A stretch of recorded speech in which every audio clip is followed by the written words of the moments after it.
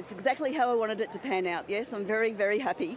Can you believe at the age of four years and about five months, 85 starts, he's just run a PB? I know. Isn't he amazing? he really is amazing.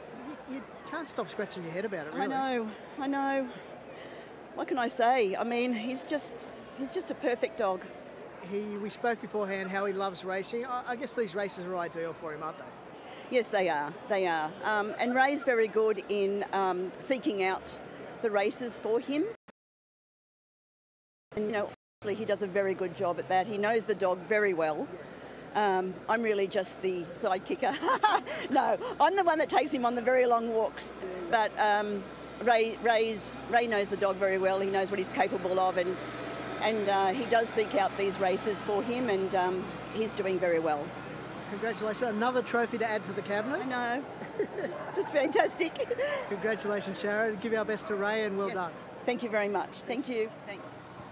Over the moon, Sharron Webb. So there's a picture of Father Rick, and that's Ray in the pen there catching uh, the winner of.